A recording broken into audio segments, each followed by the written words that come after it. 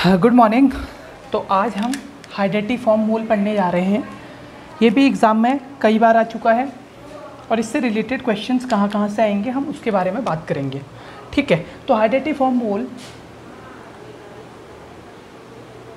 हाइडेटी form मोल। ठीक है OBG का बहुत इंपॉर्टेंट टॉपिक फोर्थ ईयर जी थर्ड ईयर के लिए बहुत important as well as competitive purpose से भी। ठीक है? तो इसका जो दूसरा नाम होता है, इसको बोला जाता है वेसिक्यूलर मोल। क्या बोलते हैं इसको? वेसिक्यूलर मोल। इसका तीसरा नाम क्या है? इसका नाम है गैस्टेशनल ट्रोफोब्लास्टिक। पूरा लिख देता हूँ पहले। गैस्टेशनल, सॉरी जेस्टेशनल है। Gestational trophoblastic. Gestational trophoblastic neoplasm. ठीक है? तो इन तीनों का ही अलग अलग नाम है। कैसे? जेस्टेशनल का मतलब आपको पता है क्या होता है? प्रेगनेंसी क्लियर ट्रोफोब्लास्टिक हमने पढ़ा था ट्रोफोब्लास्ट कहाँ पे देखने को मिलता है? प्लेसेंटा में। ठीक है? और न्यू प्लाज्म में क्या होता है? न्यू सेल्स का बनना। ठीक है? न्यू सेल्स का बनना ही क्या कहलाता है? न्यू सेल ग्रोथ हम कह सकते हैं इसे। तो हमारे पास तीन नाम आ गए हाइडेटिफॉर्म मोल के। एक तो हाइडेटिफॉर्म मोल आ गया, एक वेसिकुलर मोल क्योंकि वेसिकल्स बनते हैं। वेसिकल्स क्या होते हैं एक्चुअली सिस्ट फॉर्म होते हैं, जिनके अंदर क्या होता है? फ्लूड फ़ील्ड रहता है। ठीक, वो उनको क्या बोला जाता है? लीजन्स जिनके अंदर फ्लूड फ़ील्ड रहता है वेसिकुलर मोल और गैस्टेशनल ट्रोफोब्लास्टिक न्यू प्लाज्म मतलब गैस्टेशनल मतलब प्रेगनेंसी न्यू प्लाज्म मतलब न्यू ग्रोथ और ट्रोफोब्लास्ट का मतलब प्लेसेंटा क्लियर हो गया इतना? ठीक है। अब आगे की तरफ़ हम चलते हैं। अब हम इसको हम, ये हाइडेटिफोम मूल का मतलब क्या है? ये अलग सा वर्ड लग रहा है, चलो वेसिकल भी हमको पता है न्यू प्लाज्म भी हमको पता है। ये हाइड्रेटेड क्या है? तो ये हाइडेटिफॉर्म लिया गया है हाइड्रेटेड से। किससे लिया गया है? हाइड्रेटेड मोल से। अब ये हाइड्रेटेड मोल क्या होता है? आपने देखा होगा, डॉग के ऊपर सिस्ट फॉर्म हो जाते हैं कभी कभी जो हमारा डॉग होता है, उसके अंदर सिस्ट फॉर्म हो जाते हैं, उसके ऊपर, उसकी स्किन के ऊपर। ठीक है? वो क्यों होते हैं? डॉग में एक वॉर्म होता है डॉग वॉर्म ठीक है? डॉग वॉर्म की वजह से कुछ सिस्ट हो जाते हैं जब डॉग के ऊपर। वो कैसे दिखते हैं? वो सेम टू सेम और उन सिस्ट को बोला जाता है हाइड्रेटेड सिस्ट क्या बोला जाता है? हाइड्रेटेड सिस्ट ये हाइड्रेटेड सिस्ट क्या होते हैं? जो डॉग के ऊपर होते हैं। तो हमारा जो हाइड्रेटेड सिस्ट है वो हमारे हाइड्रेटी फॉर्म मोल की तरह ही सिमिलर दिखता है। हमारे जो वेसिकल्स जो प्लेसेंटा के ऊपर जो हमारे वेसिकल्स बन रहे हैं ऐसे छोटे छोटे ठीक है, ये किसकी तरह दिखते हैं? वैसे ही दिखते हैं, जैसे डॉग के ऊपर हमको हाइड्रेटेड सिस्ट देखने को मिलता है, ठीक है। ये डॉग वॉर्म की डिज़ीज़ कंडीशन होती है डॉग में। लेकिन इसी की तरह हाइड्रेटेड सिस्ट की तरह हमारा वेसिकुलर मोल दिखता है तो हम इसीलिए यहाँ से ये नाम लिया गया है हाइड्रेटेड मोल या हाइड्रेटिफॉर्म मोल क्लियर हो गया इतना? ठीक है। अब हम बात करते हैं ये है क्या। हमने तीनों नाम पढ़ लिए थे, अब पहले इसके सबसे पहले डिफाइन कर लेते हैं इसको ये है क्या। तो हम ये कह सकते हैं it is a disorder of placenta कह सकते हैं it is disorder of placenta clear है? It is disorder of placenta जिसमें होता क्या है? इन विच कौन सी लेयर अफेक्ट रहती है इसमें? In which proliferation. क्या होता है? Proliferation of chorion layer. क्या? Chorion layer. जिससे क्या होगा? कोरियन लेयर में अगर by chance multiple cyst form हो गए, chorion layer with multiple cyst हम कह सकते हैं इसको? With multiple cyst with multiple cyst और थोड़ा सा और कर लेते हैं। मल्टीपल सिस्ट फॉर्मेशन और वेसिकल फॉर्मेशन क्या? और वेसिकल फॉर्मेशन कहाँ पे? इनसाइड द यूट्रस कहाँ पे? इनसाइड द यूट्रस क्लियर है? तो हम पहले, सबसे पहले बात करते हैं, ये है क्या? तो हमने कहा, ये किसका डिसऑर्डर है? प्लेसेंटा का डिसऑर्डर है, जिसमें क्या होता है? प्रोलीफिरेशन होता है। It in which proliferation of chorionic layer आप मैंने कोरियन लेयर लिखा है, आप कोरियोनिक लेयर लिख सकते हैं। Chorionic layer with multiple with multiple cyst formation जिसमें क्या होता है? बहुत सारे सिस्ट बन जाते हैं ऐसे ऐसे प्लेसेंटा के कोरियन लेयर के ऊपर। या उनको वेसिकल भी बोलते हैं। कहाँ पे? इनसाइड यूट्रस के अंदर ही तो ये सारी चीज़ें हो रही है। तो यूट्रस के अंदर प्लेसेंटा की कोरियन लेयर के ऊपर बहुत सारे सिस्ट का बन जाना, वो कहलाता हमारा हाइडेटिफॉर्म मूल क्लियर हो गया इतना? तो आई आई थिंक ये हो गया होगा। तो आपको समझ में आ गया आप कि हाइडेटिफॉर्म मोल होता क्या है। लेकिन एक और चीज़ बारे में, इसके बारे में बता दूँ। अब हमने इसको कहा था न्यूप्लाज्म जैसा हो रहा है मतलब कुछ एक्स्ट्रा ग्रोथ तो हो रही है वेसिकल्स भी बन रहे हैं तो। लेकिन ये न्यूप्लाज्म कौन सी कंडीशन होती है? ये होती है बिनाइन ठीक है, आप ये कह सकते हैं कि कैंसर की फ़र्स्ट स्टेज होती है, क्योंकि अगर ये ट्रीट हो गया बिनाइन कंडीशन में हाइडेटिफॉर्म मोल तब तो ठीक है, नहीं तो फिर ये कोरियोनिक कैंसर कॉज करता है। क्या करता है? कोरियोनिक कैंसर कॉज करेगा। अगर ये कब रहा, क्या रहा? Untreated if untreated leads to chorionic cancer ठीक है बिनाइन स्टेज क्या है? बिनाइन स्टेज तो आप ट्रीट कर सकते हो, अगर ट्रीट नहीं किया, अगर अनट्रीटेड रहा तो क्या होगा? कोरियोनिक कैंसर हो जाएगा। ठीक है, जो कि एक मेलिग्नेंट कंडीशन है। फिर ये कौन सी कंडीशन हो जाएगी? मेलिग्नेंट ठीक है मेलिग्नेंट कंडीशन तो आपको समझ में आ गया, हमने बोला ये कौन सी कंडीशन है? बिनाइन कंडीशन है हाइड्रेटिफॉर्म मोल ये बिनाइन कंडीशन है तो इससे क्या होगा? जब इसको आप ट्रीट कर दोगे तो दिक्कत नहीं है। लेकिन अगर ये अनट्रीटेड रहा अनट्रीटेड रहा तो ये करेगा कोरियोनिक कैंसर जो कि कौन सी कंडीशन है? ये बिनाइन कंडीशन कौन सी है? ठीक है बिनाइन कंडीशन कौन सी है जहाँ पे हाइड्रेटिफॉर्म मोल हो रखा है आपका? लेकिन कोरियोनिक कैंसर कौन सी कंडीशन है? यह है मेलिग्नेंट कंडीशन ठीक है, अब आपको इतना समझ में आ गया होगा, अगर आपने सिंपल सा इसको ट्रीट कर दिया तो ये बिनाइन कंडीशन में ठीक हो गया, नहीं तो ये लीड करेगा कोरियोनिक कैंसर अब बात करते हैं इसके कॉज क्या हो सकते हैं। तो कॉज इसके मोस्टली अननोन है। इसका कोई भी कॉज नोन कॉज नहीं है। ठीक है, लेकिन इससे बहुत सारे रिस्क फैक्टर्स देखे गए हैं। क्या देखे गए हैं? रिस्क फैक्टर्स अब रिस्क फैक्टर बहुत सारे हैं। ठीक है, जो भी अब कोई भी अब नॉर्मलिटी वो रिस्क फैक्टर है इसका। लेकिन जो मेन मेन है, उनके बारे में हम डिस्कस कर लेते हैं।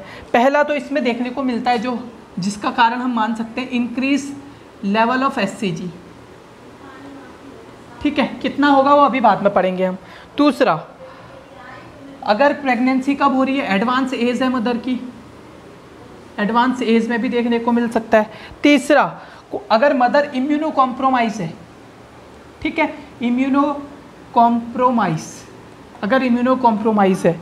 चौथा, अगर उसको कोई प्रीवियस हिस्ट्री है, क्या है? प्रीवियस हिस्ट्री अगर उसको किसी मोल की है प्रीवियस हिस्ट्री ऑफ़ मोल ठीक है? अगर उसको कोई पहले हाइडेटिफॉर्म मोल वगैरह हो रखा है। क्लियर हो गया इतना? तो ये आपको रिस्क फैक्टर याद रखने हैं। ठीक? तो ये हमारे रिस्क फैक्टर्स हैं हाइडेटिफॉर्म मोल के। इसमें बहुत सारे हो सकते हैं, लेकिन हम मेन पढ़ रहे हैं जो आ सकते हैं एग्ज़ाम में, और जिसको हमको लिख के ये भी लिखेंगे, आप तो फुल मार्क्स आ जाएँगे आपके। ठीक है? अब हम बात करते हैं कुछ टाइप होते हैं इनके। क्या होते हैं? टाइप तो इसके दो होते हैं, दो होते हैं टाइप एक को तो हम बोलते हैं पार्शियल मोल पार्शियल मोल या इसी का दूसरा नाम होता है इनकम्प्लीट मोल इनकम्प्लीट मोल अब ये क्या होता है? आसान, आसानी से हम इसको समझ लेंगे। उससे पहले हम यहाँ पे लिख देते हैं, दूसरा कौन सा होता है? कंप्लीट मोल अब क्या क्या अंतर है? इन दो को हम क्या क्या बोलेंगे? अब देख लेते हैं। ठीक है?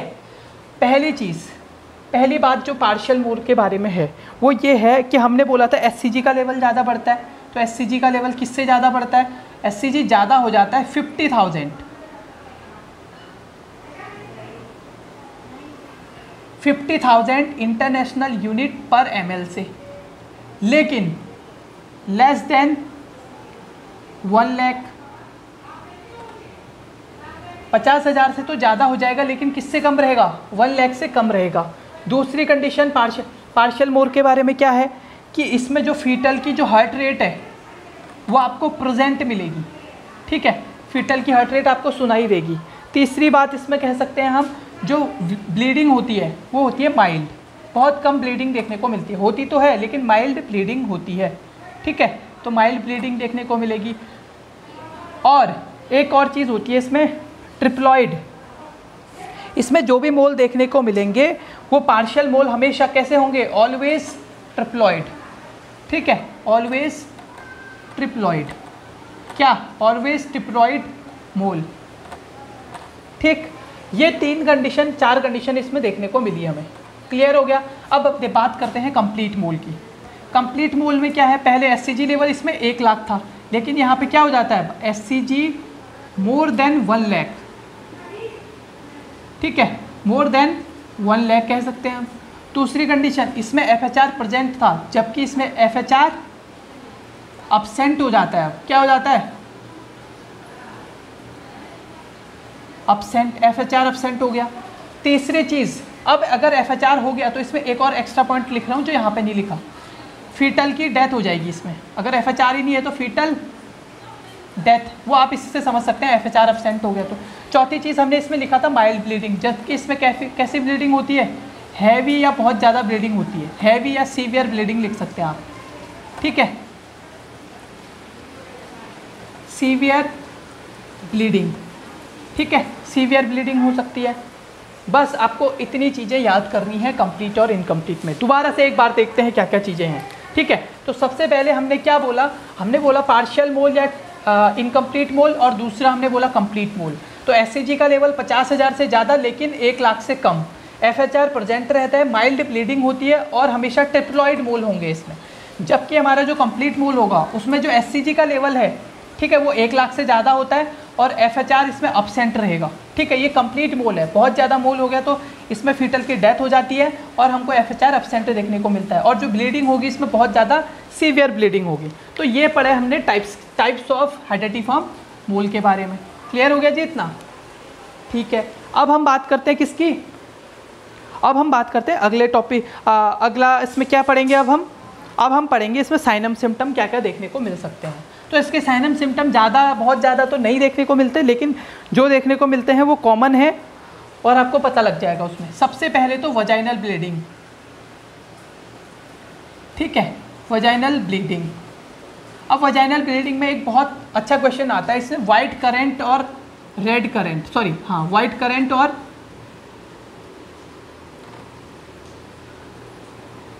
रेड करेंट ठीक है? वाइट करंट और इन एस ठीक है? White currant in red currant अब होता क्या? है वाइट करंट रेड करंट क्यों बोला जाता है? देखिए ब्लीडिंग तो होगी वहाँ पे परफोरेशन हो रहा है प्लेसेंटा का। लेकिन वहाँ पे क्या होगा? जो वेसिकल से जो फ्लूड आता है, ठीक है? जैसे वेसिकल्स के अंदर कौन सा फ्लूड भरा रहेगा? वो तो कैसा होगा? वाइट कलर का होगा। तो ब्लड के साथ में, जैसे ये ब्लड है बहुत सारा तो इसके साथ में ये देख रहे हैं जो वाइट कलर का आपको यहाँ पे दिख रहा है, ये क्या होगा? ये वो वेसिकल्स का फ्लूड होगा, ठीक है? लीजन्स का फ्लूड होगा, इसीलिए इसको बोला जाता है white currant in red currant white क्या है? वेसिकल्स का फ्लूड है रेड क्या है? ब्लड है, ठीक है? तो वाइट वजाइनल ब्लीडिंग देखने को मिलती है पहली। दूसरी चीज़ वजाइनल ब्लीडिंग के साथ साथ इसमें फीमेल को एक और मतलब आप ये कह सकते हैं कि फीमेल को ऐसा लगता है कि something is coming out from the vagina ठीक है? Female feel that feels something is something is coming out from vagina. ठीक है? ये माइल्ड में भी हो सकता है। ठीक है? हैवी में जो हमारा कंप्लीट वाला है, उसमें तो पता चलेगा। लेकिन जो पार्शियल या इनकम्प्लीट वाला है, उसमें क्या होता है? थोड़ा थोड़ा जो ब्लड या बाकी सारी चीज़ें एक्सपेल आउट होती हैं तो उसमें हमको फीमेल क्या क्या करेगी फील करेगी कि something is coming out from the vagina कुछ ना कुछ वजाइना से लीकेज हो रहा है। क्लियर हो गया? नेक्स्ट कंडीशन अब क्या हो सकता है इसमें? अब वहाँ पे रप्चर हो रहा है तो पेन हो सकता है कि नहीं हो सकता? पेन हो सकता है। कहाँ पे पेन देखने को मिलेगा? लोअर अपडमनल पेन ठीक है? लोअर अपडमनल पेन देखने को मिलेगा। चौथी कंडीशन और क्या देखने को मिल सकती है? अब हम बात करते हैं हाँ एक और चीज़ वॉमिटिंग देखने को मिलेगी। अब बताइए वॉमिटिंग क्यों देखने को मिलती है? वॉमिटिंग तो नॉर्मल भी देखने को मिलती है, लेकिन यहाँ पे क्यों देखने को मिलती है? बच्चों देखो, अब वॉमिटिंग का कारण आपने बहुत लोगों से पूछा होगा, शायद उनने कुछ आपको स्पेसिफिक आंसर ना दिए हों, लेकिन आज हम देने वाले हैं। जो एससीजी होता है, ठीक है? ये एससीजी क्या करता है? जो हमारे स्पिंक्चर्स होते हैं, जैसे हमारा कार्डियक स्पिंक्चर हो गया पाइलोरिक स्पिंक्चर हो गया स्टमक है ना? ये स्पिंक्चर है। जब एस का लेवल ज़्यादा होता है हमारे बॉडी में तो ये जहाँ पे स्पिंक्चर्स होते हैं, इसको कर देता है रिलैक्स अब ये जब रिलैक्स हो जाता है, ये हो जाता है ओपन एस जैसे ही बढ़ता है, ये हो जाता है रिलैक्स अब रिलैक्स हो रहा है, नीचे से प्रेशर भी बढ़ रहा है तो कंटेंट क्या होगा? बाहर आएगा। तो इसी वजह से प्रेग्नेंट वुमेन को क्या देखने को मिलती है? वॉमिटिंग देखने को मिलती है, ठीक है? तो ये कारण है हमारा मेन एस बढ़ने से कैसे वॉमिटिंग होती है या प्रेगनेंसी में कैसे होती है। तो यहाँ तो पचास हज़ार से ज़्यादा, एक लाख से ज़्यादा हमारी एससीजी का लेवल जा रहा है, ठीक है? तो उस टाइम पे सीवियर वॉमिटिंग इसीलिए होगी। क्लियर समझ में आ गया आपको? पेन क्यों हो रहा है? रप्चर हो रहा है वहाँ पे। फीमेल फील कर रही है माइल्ड वाले केसेस में। वोजाइनल ब्लीड हो रहा है, कैसा हो रहा है? वाइट करंट रेड करंट हो रहा है, क्योंकि जो लीकेज हो रहा है, ठीक है? उसके अलावा अब आपको बहुत सारी, अब इसमें तीन चीज़ें आती हैं जहाँ से क्वेश्चन पूछा जाता है। ठीक है? एक और क्वेश्चन पूछा जाने के चांसेस हैं। ठीक है? अभी तक वैसे नहीं पूछा गया है। अब अगर कंडीशन कितने परसेंट केसेस ऐसे होते हैं जहाँ पे आपको यूट्रस की height more than gestational age अभी समझ में आ जाएगा आपको? यूट्रस हाइट मोर देन ये उसके आगे है। ठीक है? चौथा, पांचवा पॉइंट जो भी था। ये साइन ही है अभी साइन एंड सिम्टम में ही है uterus height more than age age मतलब यहाँ पे एज का मतलब है जेस्टेशनल एज ठीक है? जेस्टेशनल एज कैसे पता करते हैं? जैसे सपोज़ जब हम फंडल हाइट लेते हैं तो उसमें प्लस टू माइनस टू करते हैं। ये नॉर्मल होता है। कैसे? जैसे 18 वीक प्रेगनेंसी है किसी फीमेल की। ठीक है? तो अगर हम फंडल हाइट ले रहे हैं तो फंडल की हाइट फंडस की हाइट कितनी आ रही है हमारी? 22 सेंटीमीटर आ रही है। तो ये क्या है? नॉर्मल है 18 वीक पे 22 सेंटीमीटर ठीक है। अब अगर हम 22 या हम ऐसा भी कह सकते हैं कि माइनस टू सॉरी ये तो फोर हो गया। 18 वीक पे क्या होगा? 20 सेंटीमीटर तक नॉर्मल हो सकता है प्लस टू भी हो सकता है, ठीक है। और माइनस टू भी हो सकता है मतलब 16 भी हो सकता है। तो ये दोनों कंडीशन नॉर्मल है, ठीक है। अब अगर uterus uterine height more than age का मतलब क्या है कि जेस्टेशनल एज उसकी कितनी है? जेस्टेशनल एज सपोज़ 18 है तो उसकी हाइट कितनी हो रही है? उसकी जो हाइट हो रही है, वो कितनी हो रही है? मोर देन 22 या मोर देन 18 या मोर देन 20 कह सकते हैं हम। मोर देन 20 हो रही है, क्योंकि 20 तक तो हम नॉर्मल लेंगे। अगर 18 वीक की प्रेगनेंसी है तो 20 तक नॉर्मल हो सकता है, लेकिन 20 से ज़्यादा हो रहा है तो मोर देन जेस्टेशनल एज ठीक है जेस्टेशनल एज हो गया। अब ये कितने परसेंट अगर हाइडेटिफॉर्म मोल है किसी को तो उसका यूट्रस कितने परसेंट केसेस में ज़्यादा देखने को मिलेगा, उसकी हाइट ज़्यादा देखने को मिलेगी। ठीक है तो सबसे ज़्यादा हमको यही देखने को मिलता है, सेवेंटी परसेंट केसेस में। हमको यूट्रस की हाइट नॉर्मल जितनी उसकी हाइट होनी चाहिए थी, उससे ज़्यादा देखने को मिलती है। ठीक है, अगला आता है क्या? यूट्रस हाइट इक्वल कुछ कंडीशंस ऐसी भी होती हैं मतलब कभी कभी ऐसा होता है कि जो यूट्रस की हाइट है, उसमें पता ही नहीं चलता इक्वल रहती है। जैसे 18 वीक की प्रेगनेंसी है तो जितना 18 वीक में होना चाहिए हाइट उतनी ही हाइट होगी। ठीक है? तो यूट्रस की height equal equal to gestational age ठीक है? ये कितने परसेंट केसेस में देखने को मिलता है? ये भी केवल 20 परसेंट केसेस में देखने को मिलता है। इक्वल भी हो सकती है। मतलब इतना समझ गए? अब सबसे कम चांस क्या होते हैं? यूट्रस की हाइट क्या? डिक्रीज कह सकते हैं हम? डिक्रीज देन जेस्टेशनल एज ठीक है? अब यूट्रस की हाइट कैसी देखने को मिलेगी? जितनी जेस्टेशनल एज में होनी चाहिए थी, उससे कम देखने को मिलेगी। तो ऐसा केवल बहुत कम केसेस में होता है टेन परसेंट केसेस में। दोबारा से बता रहा हूँ। मैंने ये बोला कि अगर हाइडेटिफॉर्म मोल हो रखा है, हमको पता चल गया ब्लीड हो रहा है, बाकी सारी चीज़ें हो रही हैं तो एक और चीज़ बचती है हमारे पास फंडल हाइट ठीक है मैंने यूट्रस हाइट लिखा फंडल हाइट लिख लीजिएगा यहाँ पे। ठीक है? तो फंडल हाइट अगर जेस्टेशनल एज में जितनी होनी है, उससे ज़्यादा हो रही है तो वो भी हो सकता है हाइडेटिफॉर्म मोल हो। और ऐसा कब कितनी केसेस में देखने को मिलता है? सौ में से सेवेंटी केसेस हाइडेटिफॉर्म मोल के अगर हम लेंगे तो उसमें यूट्रस की हाइट हमें ज़्यादा ही देखने को मिलेगी। ठीक है? दूसरा, ऐसा नहीं है कि ज़्यादा ही देखने को मिले। हो सकता है कम भी देख, बराबर भी देखने को मिल सकती है। जितनी यूट्रस की हाइट होनी चाहिए थी, उतनी ही है। तो वो 20 परसेंट केसेस में। और अगर बिलो उससे भी कम है यूट्रस की हाइट जेस्टेशनल एज से भी कम आ रही है, बहुत कम आ रही है तो वो बहुत कम केसेस में देखने को मिलता है हमें टेन परसेंट केसेस में। क्लियर हो गया? ओके अब बात कर लेते हैं इसकी। ये पढ़ लिया हमने साइनम सिम्टम अब बात करते हैं किसकी? डायग्नोस्टिक इवेल्यूएशन की। अब कुछ डायग्नोस्टिक इवेल्यूएशन भी तो है भैया, कैसे पता चलेगा हमको? ठीक है तो सबसे पहले हम इसमें बहुत सारी चीज़ें करते हैं। वैसे एससीजी लेवल चेक कर सकते हो आप। पहला तो इससे ही पता लग जाएगा एससीजी का लेवल बढ़ा हुआ होगा। ठीक है मोर देन फिफ्टी थाउज़ेंड हमने बोला था। इंटरनेशनल यूनिट पर एमएल दूसरी चीज़ एससीजी भी ज़रूरी नहीं है, केवल इसी केस में बढ़े। दूसरा, क्या कर सकते हैं? हम सीटी स्कैन वगैरह कर सकते हैं एमआरआई कर सकते हैं, ये नॉर्मल नॉर्मल है। और यू क्या करेंगे? आपको पता लग जाएगा यू से, क्योंकि यू में क्या देखने को मिलता है? एक बहुत, इसको आप 500 नंबर देखिए, पाँच सौ रुपये में ख़रीद लो। स्नो स्ट्रॉम स्नो स्ट्रॉम क्या? स्नो स्ट्रॉम क्या देखने को मिलेगा हमें? अपेरेंस देखने को मिलेगा। ठीक है? जब हम यूएससी देखेंगे तो उसमें स्नो स्ट्रॉम अपेरेंस देखने को मिलेगा। दो चीज़ें आज अच्छे से देखिएगा। एक तो हाइड्रेटी फॉर्म मोल की पिक देखिएगा। जब भी हम जो जो टॉपिक पढ़ते हैं यहाँ पे पिक आ, उनकी दिखाना संभव है नहीं अभी। ठीक है? हम ट्राई कर रहे हैं, अपनी टेक्निकल टीम हमारी जैसे प्रिपेयर हो जाती है, वैसे ही हम क्या करेंगे? इन सब, जैसे ही कोई भी लेक्चर होगा तो उसके साथ उसके पिक और बाकी सारी चीज़ें वीडियोस जो भी होंगी, वो ऐड करने की कोशिश करेंगे, लेकिन उसमें भी टाइम लग सकता है। ठीक है? तो तब तक आप क्या कीजिए, अगर मैंने हाइडेटिफॉर्म मोल आज पढ़ाया, या आपने पढ़ा है तो इसकी पिक भी देखिए साथ में। मैंने बोला स्नो स्ट्रॉम अपेरेंस अब मैं चाहे कुछ भी बता दूँगा, इसमें हाँ थोड़ा वाइट वाइट सा दिखता है स्नो की तरह दिखता है तो आपको समझ में नहीं आएगा। लेकिन आप इसको ये देखेंगे कि snowstorm appearance in hydatidiform mole search कर लीजिए तो आपको उसमें अपेरेंस देखने को आ जाएगी और आपको याद रहेगा। ये एग्ज़ाम में क्वेश्चन आया हुआ है बहुत बार। एम्स तक के एग्ज़ाम में पूछा गया कि स्नो स्ट्रॉम अपेरेंस किस कंडीशन में देखने को मिलता है। ठीक है, चार ऑप्शन दिए होंगे, उसमें हाइड्रेटी फॉर्म मोल एक होगा, उसमें आप देख लीजिएगा। तो केवल इसमें ज़्यादा डायग्नोस्टिक इवेल्यूशन है नहीं, इससे आपको कन्फर्म ही हो जाएगा। ठीक है एससीजी और ये दो तो मेन है। क्लियर अब हम बात करते हैं मैनेजमेंट की। ठीक है तो मैनेजमेंट में क्या कर सकते हैं बताओ? अब किसी को हाइडेटिफॉर्म मोल हो गया तो प्रेगनेंसी को कंटिन्यू कर सकते हैं नहीं कर सकते हैं, तो सीधे टर्मिनेशन कर सकते हैं हम इसका। ठीक है? टर्मिनेशन ठीक है बिनाइन कंडीशन में भी टर्मिनेशन ही करना पड़ेगा क्योंकि प्लेसेंटा के डैमेज होने से कोई भी चीज़ तो है नहीं वहाँ पे। ठीक है? और अगर हमने उसको टर्मिनेट नहीं किया तो वो मेलिग्नेंट में चेंज हो सकता है। ठीक है? एक तो कैंसरस सेल समझ लीजिए इसको। ठीक है? टर्मिनेशन करने के बाद अब कैसे करते हैं? टर्मिनेशन करने के बाद आपको क्या करना है? ध्यान दीजिए। आपको जो एससीजी का लेवल है, वो वीकली चेक करना है।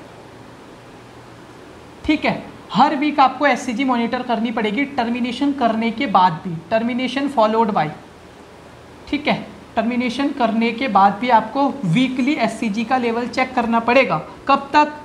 सिक्स वीक तक। कब तक? सिक्स वीक तक। दूसरी कंडीशन आती है, फिर सिक्स वीक के बाद क्या करोगे आप? Six week to six month तक आपको क्या करना पड़ेगा? सिक्स मंथ तक एवरी मंथ चेक करना पड़ेगा। ये आपको समझ में आ गया होगा? एम आई क्लियर ठीक है। मैंने बोला टर्मिनेशन तो करना पड़ेगा और कोई मैनेजमेंट है नहीं हमारे पास। मेडिसिन वगैरह जो भी है उसको देख लेंगे, लेकिन प्रेगनेंसी को कंटिन्यू करना पॉसिबल नहीं है।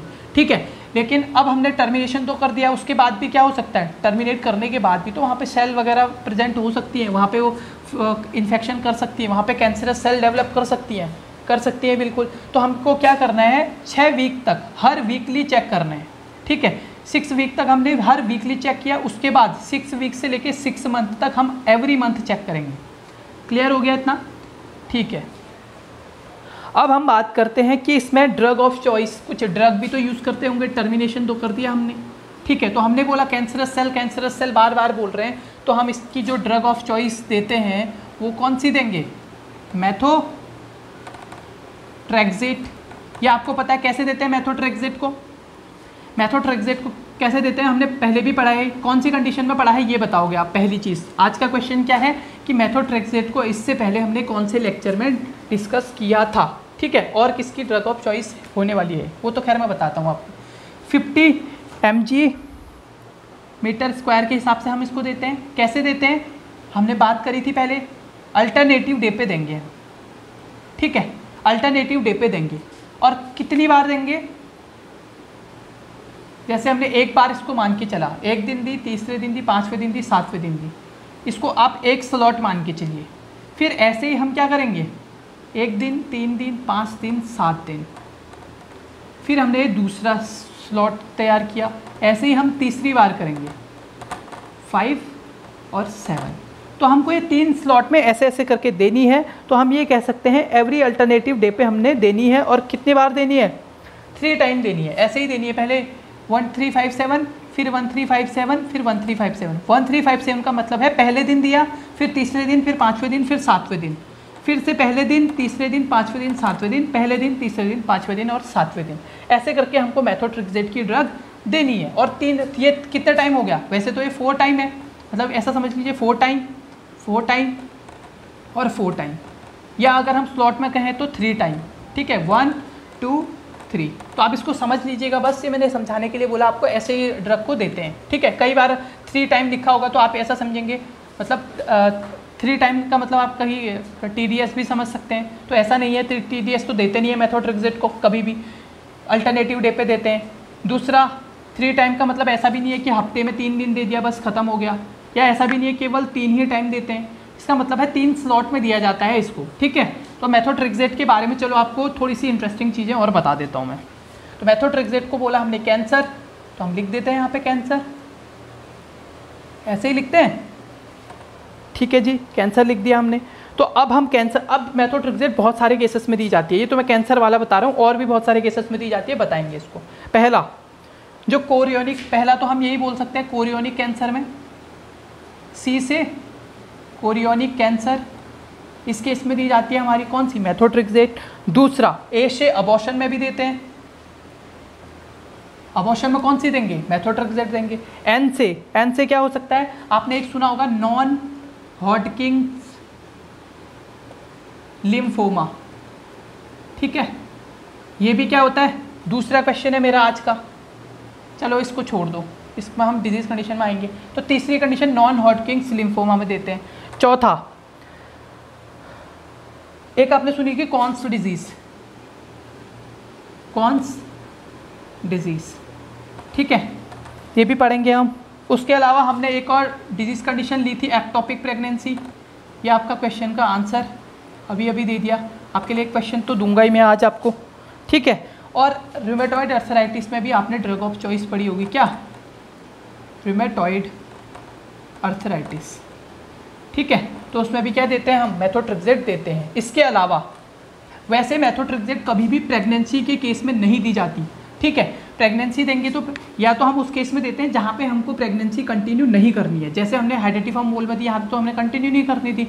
तो कॉन्ट्राइंडिकेटेड रहती है प्रेगनेंसी में। लेकिन इसके अलावा भी इसको कब दिया जाता है? आपने सुना होगा ग्राफ्ट रिजेक्शन। क्या सुना होगा? Graft rejection. जैसे ही हम किसी डोनर से किसी रिसिपेंट को किडनी वगैरह या कोई ऑर्गन वगैरह ट्रांसप्लांट करते हैं तो उस समय चांस होते हैं कि क्या हो सकता है? वो ग्राफ्ट रिजेक्ट कर सकती है दूसरे की एंटीबॉडी तो उस टाइम पे भी हम मेथोट्रिक्सेट वगैरह चलाते हैं। क्लियर हो गया इतना तो ग्राफ्ट रिजेक्शन में भी हम क्या देते हैं? मेथोट्रिक्सेट उसके अलावा, और कहीं पे? चलो उसके अलावा जैसे जैसे आएगा, उतनी बात कर लेंगे। तो आप इसको देख लीजिए कि कोरियोनिक कैंसर में देते हैं अबॉर्शन में देते हैं नॉन हॉटकिंग लिफोमा में देते हैं, कौन सी disease ectopic pregnancy rheumatoid arthritis ठीक है? और उसके अलावा हमने क्या बोला?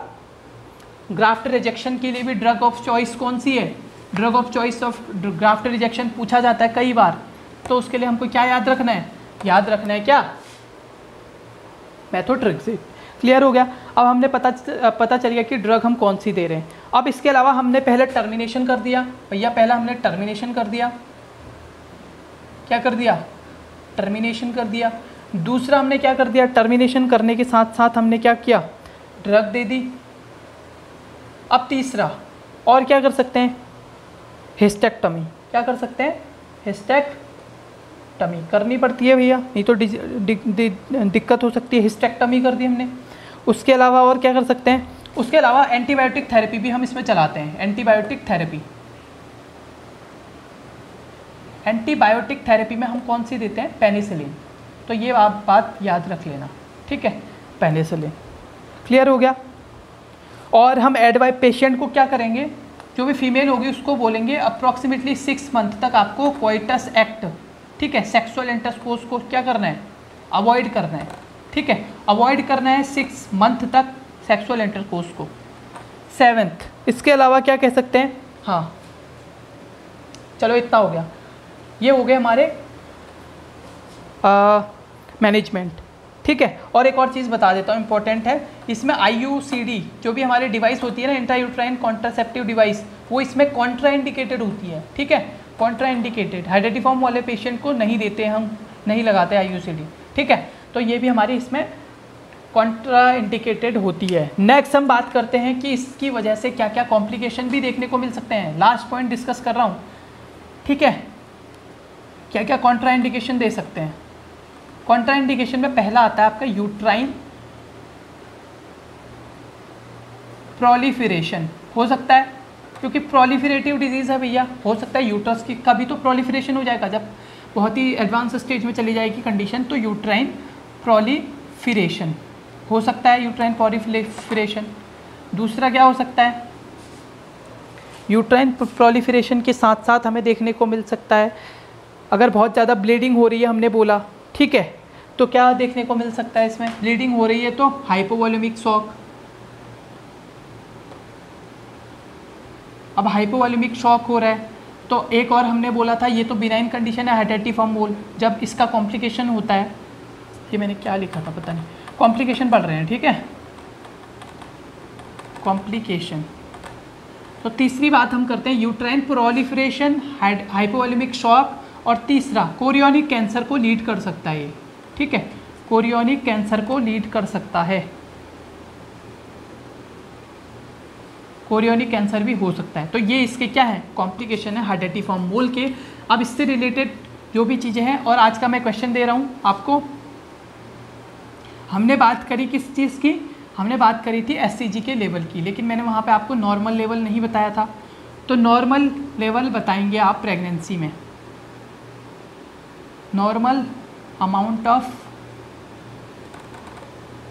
S C G during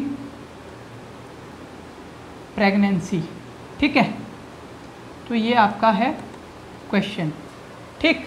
इसके अलावा अभी तक मैं आपको बोलता नहीं था कि अगर आपको सही लगे तो लाइक कीजिए, सब्सक्राइब कीजिए, अभी भी नहीं कह रहा हूँ, लेकिन एक चीज़ है इसमें।